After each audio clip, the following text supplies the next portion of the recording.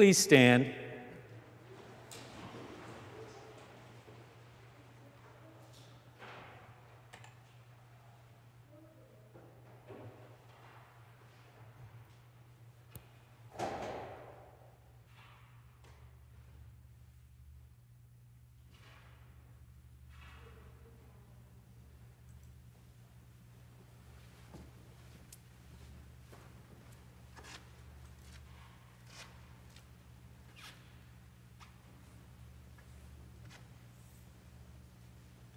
Good morning.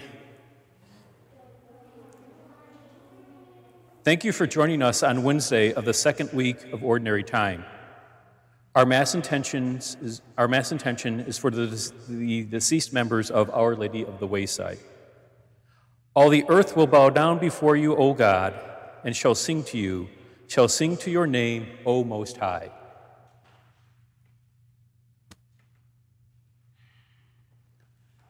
In the name of the Father, and of the Son, and of the Holy Spirit. Amen. The Lord be with you. And with your spirit. As we gather to celebrate this Holy Eucharist, as we come to our Lord Jesus to pray, to worship Him, and to ask Him to bless us and protect us, now we ask that during this Eucharist we open our hearts and our minds to our God. Now, to prepare ourselves to celebrate this Holy Eucharist, let us call to mind our sins and ask for God's forgiveness and God's mercy. You were sent to heal the contrite of heart. Lord, have mercy. Lord, Lord have mercy. You came to call sinners. Christ, have mercy. Christ, Christ have mercy. You are seated at the right hand of the Father to intercede for us. Lord, have mercy. Lord, have mercy. And may Almighty God have mercy on us, forgive us our sins, and bring us to everlasting life. Amen. Let us pray. Almighty, ever living God, who govern all things both in heaven and on earth, mercifully hear our pleading of your people and bestow your peace on our times. Through our Lord Jesus Christ, your Son, who lives and reigns with you in the unity of the Holy Spirit, one God, forever and ever. Amen.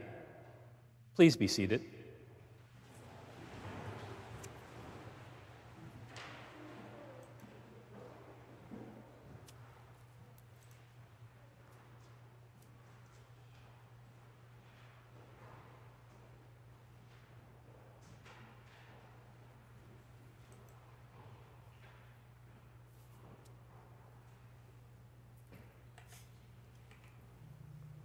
A reading from the book of Hebrews.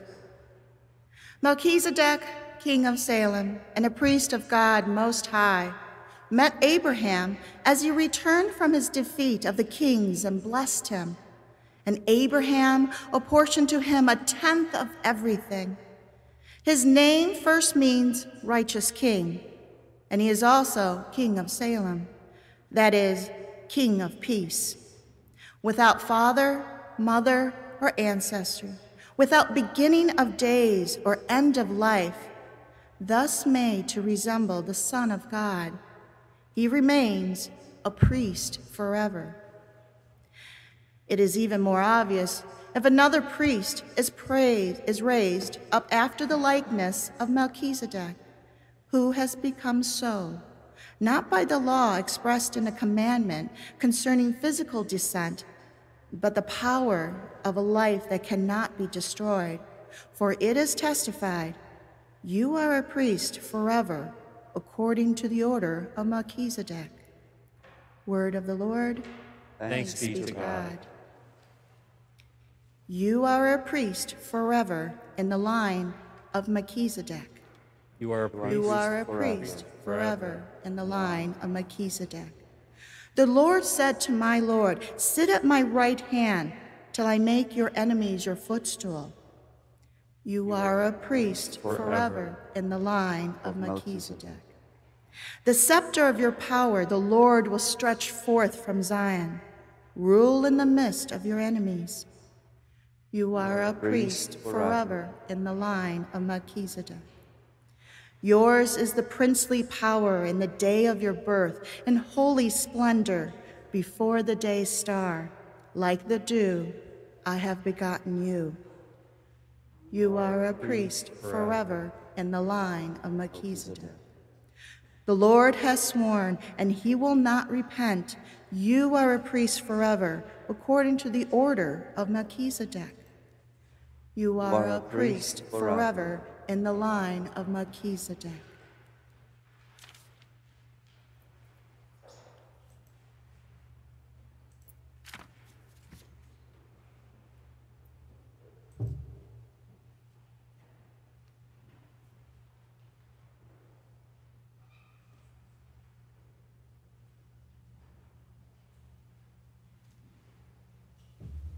Please stand. Your blessing, Father. We can make Christ be in your heart and on your lips that you may worthily proclaim his holy gospel. In the name of the Father, and of the Son, and of the Holy Spirit. Alleluia, Alleluia, Alleluia, Alleluia, Alleluia, Alleluia. The Lord be with you And with your with your spirit. spirit. A reading from the Holy Gospel according to Mark. Glory to you, O Lord. Jesus entered the synagogue. There was a man, there was, there was a man there who had a withered hand. They watched Jesus closely to see if he would cure him on the Sabbath, so that they might accuse him. He said to the man with the withered hand, Come up here before us.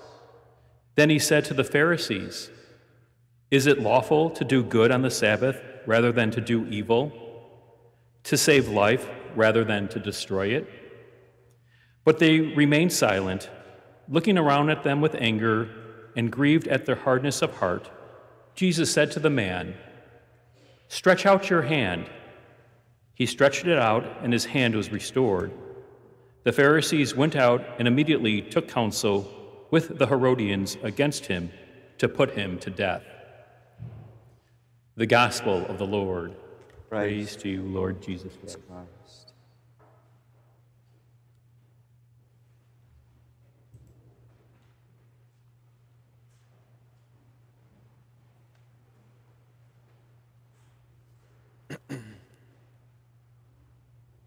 Please sit. Now, very often in the gospel, we see how our Lord Jesus performs miracles. Just like today, he cures one of those uh, affected by uh, uh, this illness. Uh, he had a withered hand, and so obviously he could not uh, fully uh, enjoy his life the way that we can, you know, if we are fully healthy. And so often happens that in the Gospels that our Lord is moved with pity for those who are somehow uh, afflicted, uh, touched by all kinds of diseases and, and uh, health issues, not only in the body, but most of all in the soul. And so it is important that we always keep that in mind, that we uh, can come to Christ, to our Lord, to Jesus, and ask for uh, all kinds of healings that He, as God, can heal us from. Now we come to celebrate the Eucharist uh, as we are doing it now, and we come because we believe in Christ, no? Don't we? And we want to express uh, our love toward God, just like you love your parents and maybe your siblings and your friends. And you want to be kind to them. You uh, want to spend time with them. It's very natural for us people, no? And so when we come to pray, we come because in our heart there is this desire to be here. That's the most beautiful gift that we can actually offer to God. God doesn't need anything. God doesn't even need us. God doesn't need us. Because God, as God, is all powerful, God has everything. But God created me and you, each one of us. Why? If God has everything, if God doesn't need anything, God, doesn't even need this world that we live in. because it's very imperfect. For us, it's beautiful in many ways. And yes, it is beautiful, but it's very imperfect compared to what is in this world that we cannot see with our human eyes. So, why God needs you and you and you and you and you and me and everyone? Why? Anyone wants to uh, give answer? Any ideas? No? You don't know? Okay. There is someone, okay. Why? I cannot hear you. Maybe that. Okay. Because God loves us. Because God loves us. And therefore, God, who loves us and created us, and we belong to Him. Obviously, God uses our parents because He created a special, you know, law of nature, biology, and, and all of it. And so He uses that law to create, to give life. And so we are alive, no? We can move our hand, can we? No? And that's good. So we have to be grateful to our God for everything. We have to be grateful that we are alive today. I'm sure you are grateful that you could come to school. Are you grateful? A little bit. It's better to come to school than to stay at home, no? It, no? You have friends, you have teachers, you can learn something. So, see, there are many, many, even little things that we can acknowledge and see, wow, it's good that I have it, that I, that I can walk, that I am alive, that I have my family, that I can go to school, that I have my friends. Every little things that we kind of keep in mind and acknowledge and say, Thank you, God, for that. Jesus, thank you for that. No? This great gift of gratitude makes our hearts more beautiful because then we know how to appreciate things. And when we know how to appreciate things, we will be a very generous people toward those that we love, toward our family members, our friends, other people, and even ourselves. No? We will know how important this gratitude, the gift of gratitude, is in our life. It will make us more joyful, more humble at the same time, and more loving. And so today, Jesus, who cured this person with a withered hand, is asking each one of us Do you love me? Do you believe in me? Are you grateful for all those gifts that you have received in this life? And for us, people of faith, for us Christians, hopefully the answer is obvious. Yes, we are grateful. And we thank you, Lord. And we want to use our life well, to use this time that we are given. Because maybe there are children around the world who cannot come to school because of the situation in their countries. Maybe they are not safe. Maybe they are poor they are not as fortunate as we are. So we have to be grateful because then our heart is more beautiful, more generous, not only toward God, but also toward other people as well. Right? So I want you today to be grateful. When you go home, thank your parents. Find a good reason to be thankful and grateful to your parents. Okay? And that will be also a beautiful gift that you appreciate what they do you know, to you. Okay?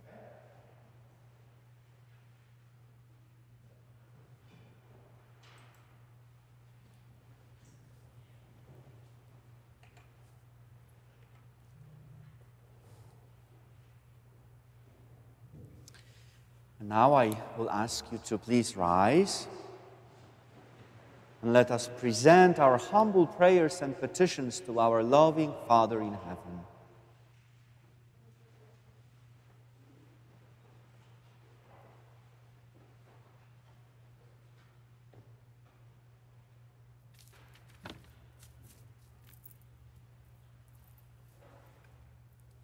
For the Holy Father, Pope Francis, may Christ continue to guide his leadership of the Church throughout the whole world.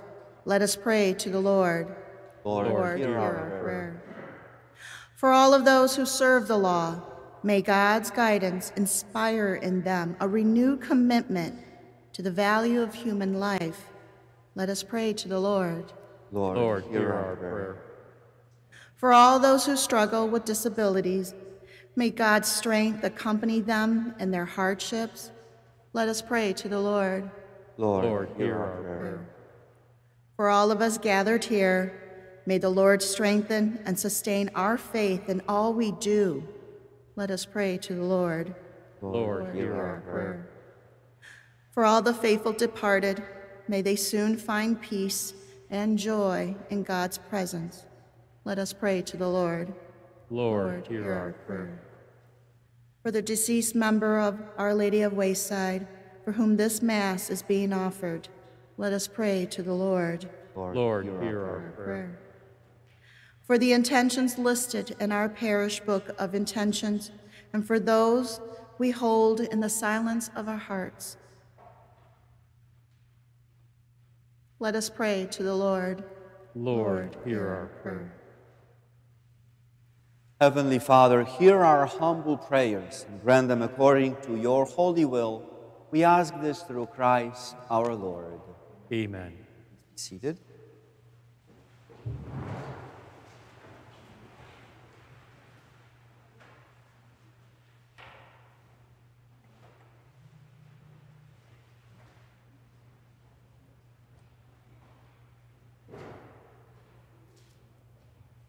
Blessed are you, Lord, God of all creation, for through your goodness we have received the, the bread we offer you, fruit of the earth and work of human hands, to become for us the bread of life. Blessed, be God forever.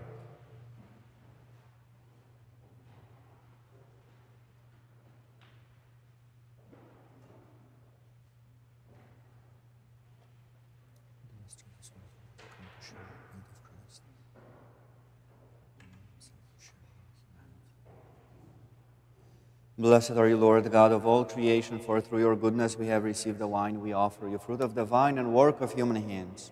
It will become our spiritual drink. Blessed be Blessed be God God. forever.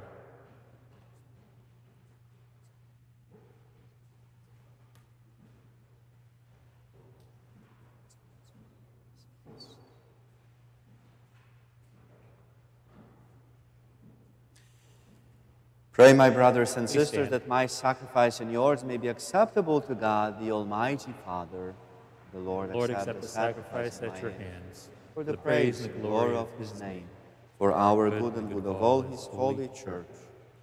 Grant us, O Lord, we pray, that we may participate worthily in these mysteries, for whenever the memorial of the sacrifice is celebrated, the work of our redemption is accomplished through Christ our Lord. Amen. The Lord be with you. And with your spirit, Lift up your hearts. we lift them up to the Lord. Let us give thanks to the Lord our God. It is right and just. It is truly right and just, our duty and our salvation, always and everywhere to give you thanks, Lord, Holy Father, Almighty and Eternal God. For just as through your beloved Son you created the human race, so also through him, with great goodness, you formed it anew. And so it is right that all your create that all your creatures serve you, all the redeemed praise you, and all your saints with one heart bless you.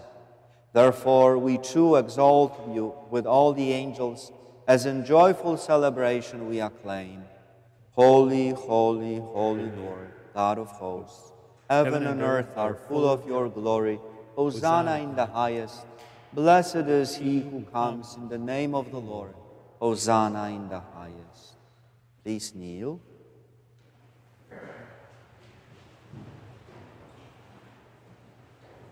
You are indeed holy, O Lord, the fountain of all holiness. Make holy, therefore, these gifts, we pray, by sending down your Spirit upon them like the dewfall, so that they may become for us the body and blood of our Lord Jesus Christ. At the time he was betrayed and entered willingly into his passion, he took bread and giving thanks broke it and gave it to his disciples, saying, Take this, all of you, and eat of it, For this is my body, which will be given up for you.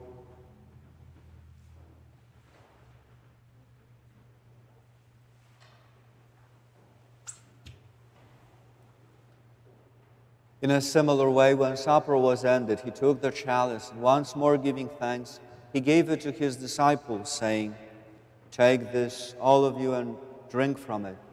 For this is the chalice of my blood, the blood of the new and eternal covenant, which will be poured out for you and for many for the forgiveness of sins.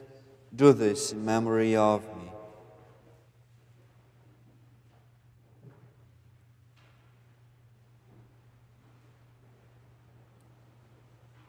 The mystery of faith. We proclaim your death, Lord, and profess your resurrection until you come again. Therefore, as we celebrate the memorial of his death and resurrection, we offer you, Lord, the bread of life and the chalice of salvation, giving thanks that you have held us worthy to be in your presence and minister to you. Humbly we pray that partaking of the body and blood of Christ, we may be gathered into one by the Holy Spirit. Remember, Lord, your church spread throughout the world and bring her to the fullness of charity, together with Francis, our Pope, and Blase, our Bishop, and all the clergy. Remember also our brothers and sisters who have fallen asleep in the hope of the resurrection, and all who have died in your mercy. Welcome them into the light of your face. Have mercy on us all, we pray, that with the Blessed Virgin Mary, Mother of God, with Saint Joseph, her spouse, with the blessed apostles, and all the saints who have pleased you throughout the ages, we may merit to be co heirs to eternal life and may praise and glorify you through your Son, Jesus Christ. Through him and with him and in him, O God, Almighty Father, in the unity of the Holy Spirit, all glory and honor is yours forever and ever. Amen. Please stand. At the Savior's command, and formed by divine teaching, we dare to say, Our Father, who art in heaven, hallowed, be thy name. Thy kingdom come, thy will be done, on earth as it is in heaven. Give us this day our daily bread, and forgive us our trespasses, as we forgive those who trespass against us. And lead us not into temptation, but deliver us from evil. Deliver us, Lord, we pray, from every evil. Graciously grant peace in our days, that by the help of your mercy we may be always free from sin and safe from all distress, as we await the blessed hope and the coming of our Savior, Jesus Christ. For the kingdom, the power, and the glory are yours, now and forever. Lord Jesus Christ, who said to your apostles, Peace I leave you, my peace I give you, look not on our sins, but on the faith of your church, and graciously grant her peace and unity in accordance with your will, who live and reign forever and ever. Amen. Peace of the Lord be with you always. And with your spirit, let us offer each other the sign of peace.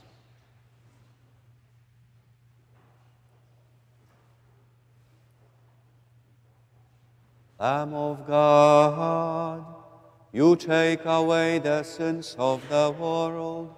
Have mercy on us. Lamb of God, you take away the sins of the world. Have mercy on us. Lamb of God, you take away the sins of the world. Grant us peace. please kneel.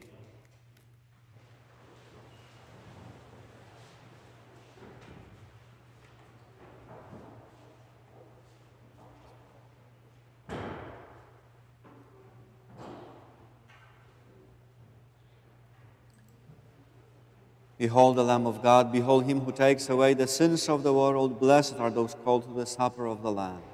Lord, I am not worthy, that, that you should enter my under roof. my roof. Only say the word, and my soul So shall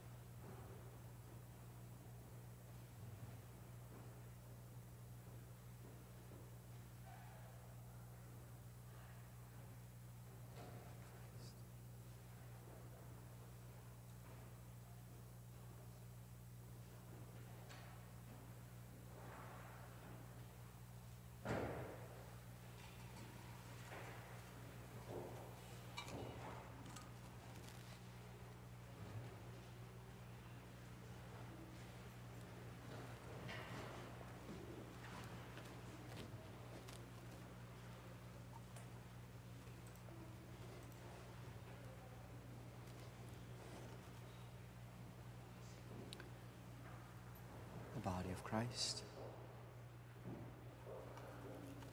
Body of Christ. Body of Christ. Body of Christ.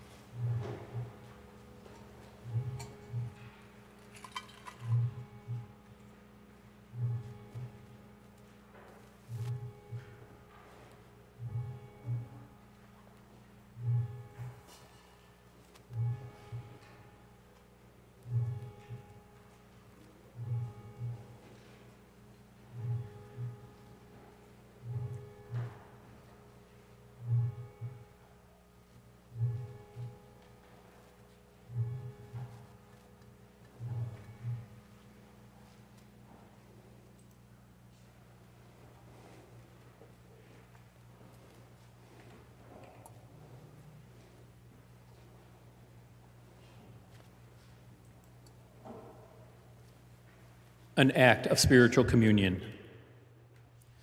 My Jesus, I believe that you are present in the most holy sacrament. I love you above all things, and I desire to receive you into my soul. Since I cannot at this moment receive you sacramentally, come at least spiritually into my heart. I embrace you as if you were sacramentally there, and unite myself wholly to you. Never permit me to be separated from you. Amen.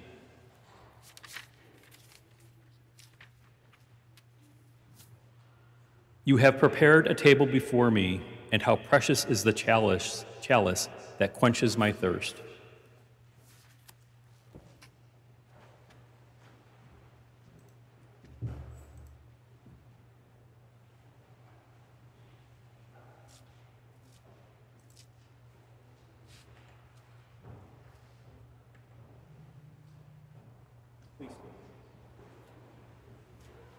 Let us pray.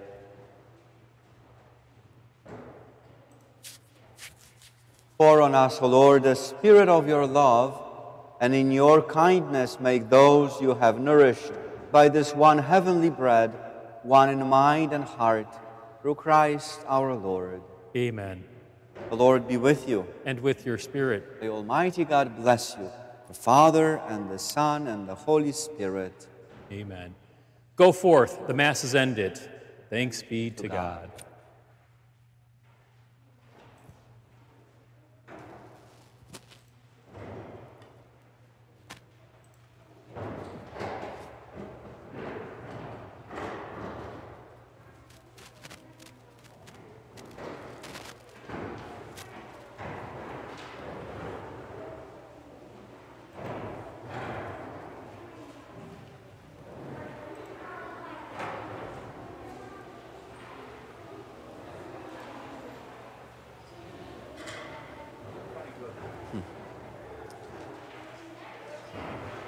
Oh, gracias. Oh, thank you.